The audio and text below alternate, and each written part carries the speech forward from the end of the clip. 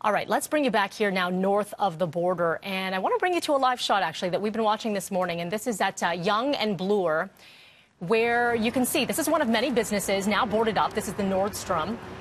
There was a peaceful protest last weekend, but with officials monitoring plans for more demonstrations this weekend, uh, some are concerned. They are concerned the rallies may turn tense, as we've seen in the U.S. So I want to begin here, and with that, plus all of your COVID news, let's bring in Mayor John Tory, who joins us via Skype this morning. Good morning to you, Mayor. Good morning, Mel. Uh, I want to look at those shots. I, I, drove in this morning and noticed every day more businesses starting to board up in anticipation of what we could potentially see this weekend. As mayor of the city, uh, what are the optics in seeing some of the businesses doing that, and, and what is your message here?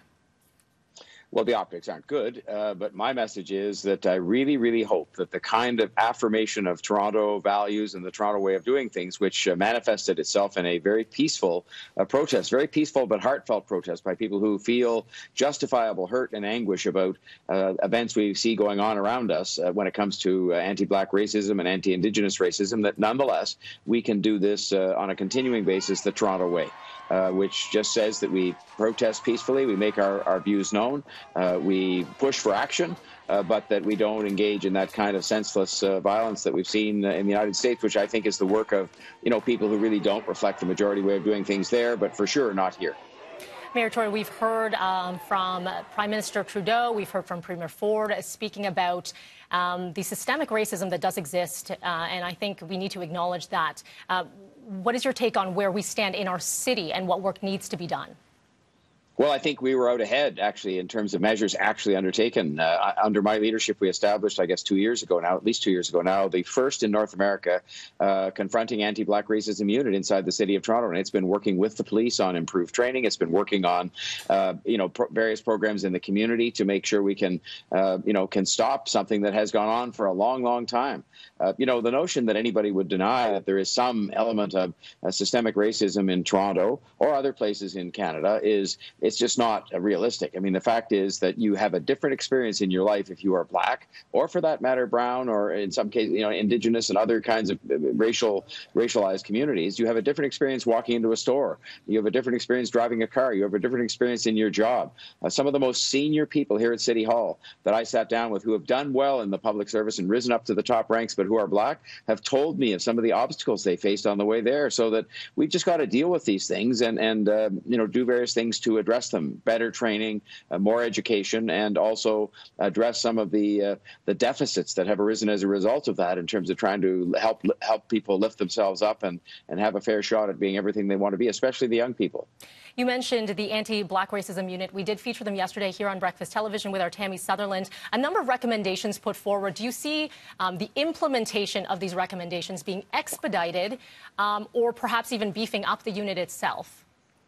I had a meeting with uh, probably some of the very same people that were Anthony Morgan and uh, Denise Campbell and others uh, yesterday to talk about exactly that. we were moving ahead with these things anyway, but you know, like a lot of things, there are opportunities that present themselves sometimes to give you uh, an extra impetus to speed things up and to make even more progress and progress that is visible and can be felt by the black uh, communities in Toronto. And so the answer to that is yes. Uh, we discussed some things yesterday we can move forward with on a more expedited basis so as to uh, have the community, those who protested so peacefully in that Toronto way last weekend, understand that, that was uh, an effort that helped to produce more attention and more results for us, including on policing, where we've done a lot. Uh, and, and the biggest thing we're doing now is community policing, where we're putting officers into communities, uh, and they're going to be there for three years at a time. They're going to be sort of walking the beat in that old fashioned way, but hopefully, in so doing, restoring the trust that was eroded over time. And it's not useful to sit and point fingers of blame uh, on that. It's just useful to do something about it, which we're doing through the Community Policing Initiative. And that was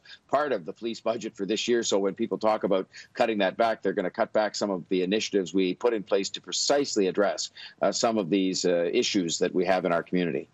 Uh, when we speak about community, there is a perception right now. We are looking at this latest SIU case. I know you cannot speak to the latest when it comes to the death of Regis Korchinski Paquet, um, but can you speak to what you hope comes of this investigation uh, from both sides?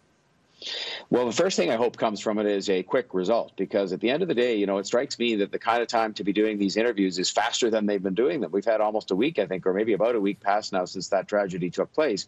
And, you know, it, it doesn't help to have time pass by and have all kinds of speculation and media reports and whatnot going on in the face of a, of a real tragedy that really has a lot of people uh, very hurt and, and, and angered and, and, upset in the community. And, and I understand, including starting with the family members. So I just think they should uh, get at it. I know they are.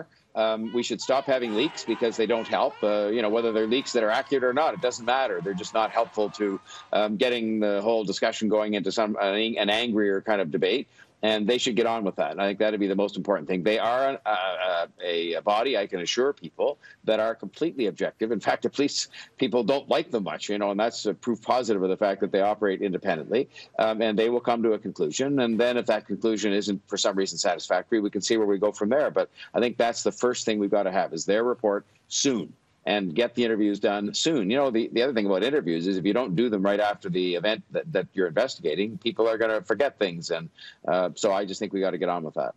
Thank you for that, Mayor. I do want to get to COVID 19, of course. We're looking at rebuilding of our city. And uh, let's first begin with the mobile testing. We are uh, live at one location right now. It's the second pop up that we're seeing in uh, the Scarborough, one Scarborough neighborhood. Um, hundreds we saw turn out just a couple days ago. Uh, your take on how, the, how this is all going, as well as contact tracking, because the tracking of these cases is so very important.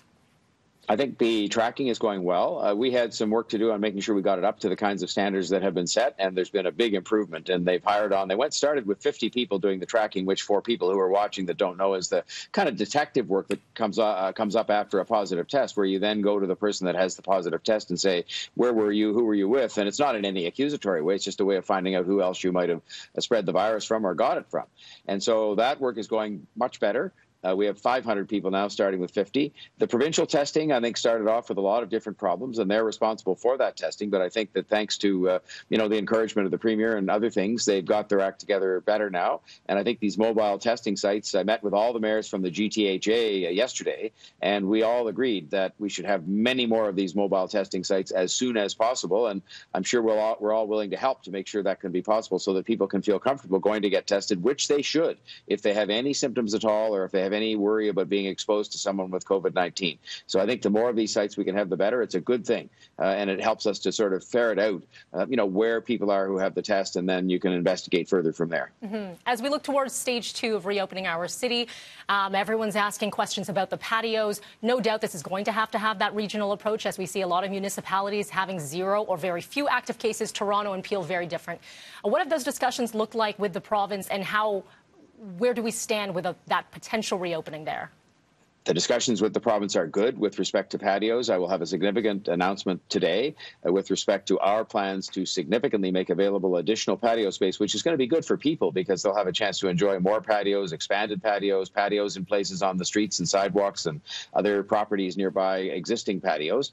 Uh, and uh, that will also help the businesses, of course, because when they come back to business, these patios, uh, they will have uh, perhaps some, likely some physical distancing requirements on them so that not every table on existing patios could be occupied, for example. So I think this is going to help a lot. I think it's going to make for a more pleasant summer after a pretty dismal spring and winter that we had. And uh, the province has been extremely cooperative in making sure that's possible under provincial alcohol rules.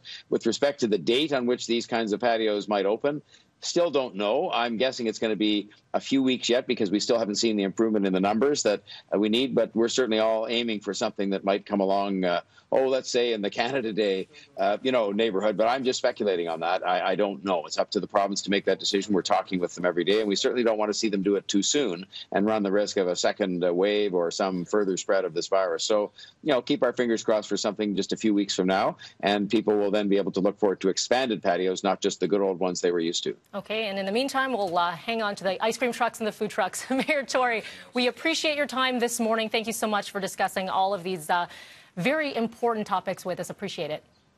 Thank you, Mel. Have a great day. You too.